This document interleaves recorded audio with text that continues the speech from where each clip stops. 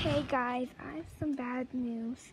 So, my dog, we just took her to the vet today, and she has, well, she has Lyme disease, and I'm really sad because that means a tick bit her, and she's really sick or something from it. And we have her on some medicine right now, so it should be fine. She should be fine. But, you know, I'm still really worried about her. So, yeah, that's all for this video. Bye, guys.